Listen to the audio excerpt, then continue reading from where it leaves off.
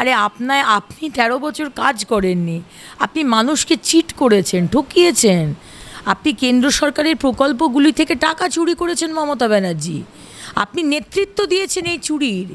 কোটি কোটি কোটি কোটি টাকার চুরি, আপনার একা পার্থ চ্যাটার্জি আর একা বালু বা একা অনুব্রতর করা সম্ভব নয়। প্রাতিষ্ঠানিক রূপে আপনি চুরি করেছেন। আপনাকে যাতে জেলে ঢোকানো হয়, আমরা সেটা এনশিওর করব।